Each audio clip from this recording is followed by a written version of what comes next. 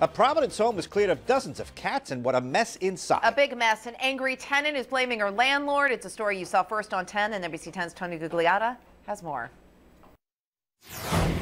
Providence animal control officials removed 69 cats from the second floor apartment at 87 Progress Avenue after receiving a call from a neighbor about a foul odor emanating from the residence. What happens when you get so many cats in one small area like that?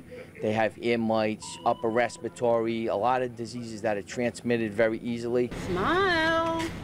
The apartment's tenant, Francis Reed, not happy to see NBC 10 cameras at first, but did give us a possible explanation for the cats. Basically, there's rats running all through here.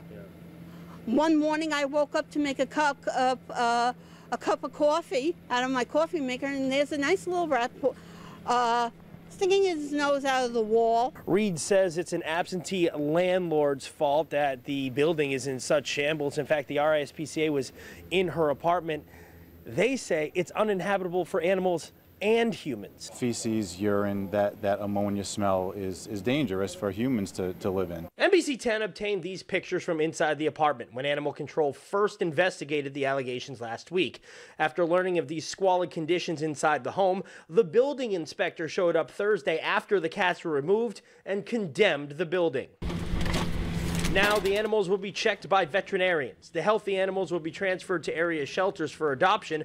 The others will be treated, and some may have to be euthanized. We remove them from the environment and give them a day or two, possibly, to, to acclimate, and, and then we'll have to make that decision on whether they're adoptable or not. We certainly can't put a liability out there.